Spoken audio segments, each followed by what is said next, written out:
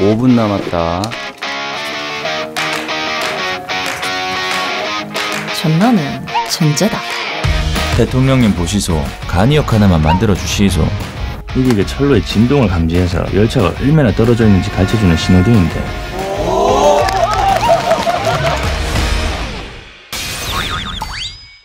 편지를 사투리로 쓰는 놈이 어디 있노? 맞춤법도 개파이고. 떡볶이. 정원대 찾아갈까? 그래. 가자. 야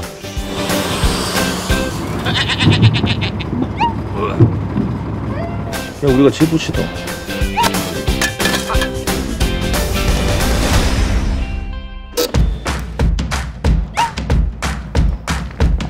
니 아버지한테 인사도 안 하나? 기관사가 뭐 힘이 있니겨? 정해진 대로 운전만 하는 긴데 규정대로 하는 거지.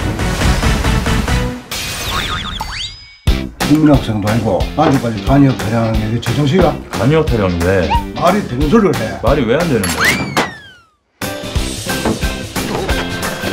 이거 웬일로?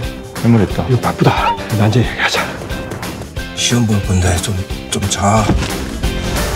아이고 의사 옆에 그 보면은 저 오른쪽에 그 돌린 거 돌린 거. 뭐 이거 아 이거 어디 아 이거 뭐.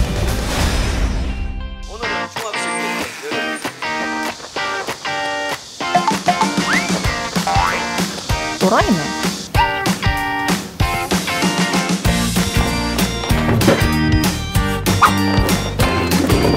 아, 왜? 니네 좋아하나? 내 꿈은 안 궁금하나? 뭔데? 뮤즈. 뭔데 이게?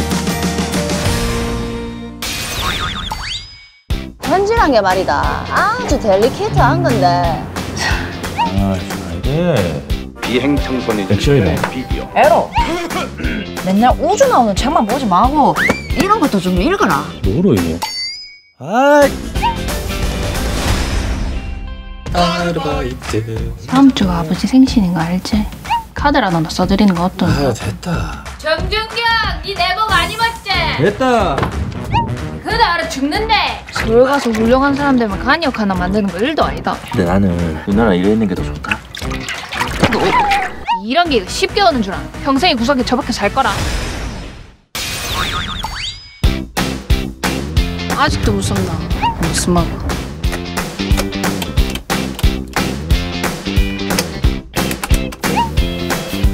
야, 아버지가 안 갔나? 니는 얼굴 잘생겨서 괜찮다. 아버지 오시라.